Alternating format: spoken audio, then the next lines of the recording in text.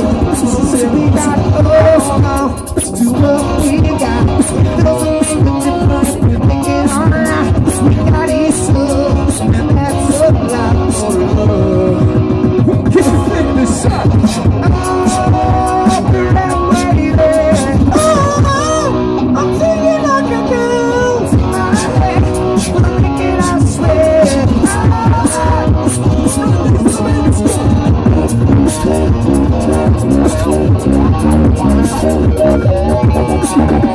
Has got a six stringing high.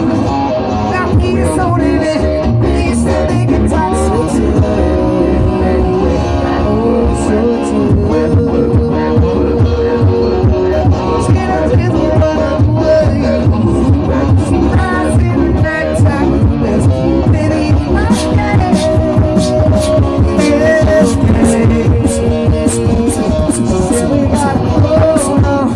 What we got. It doesn't make a difference if we can get on.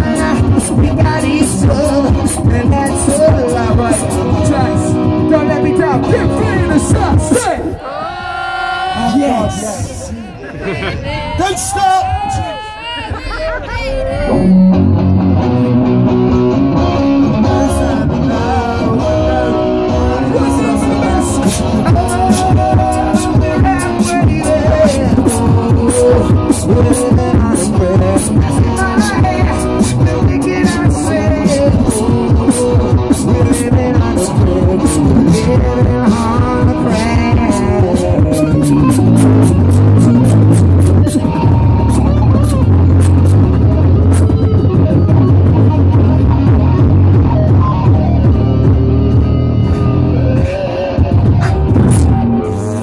So much. Enjoy the rest of the day.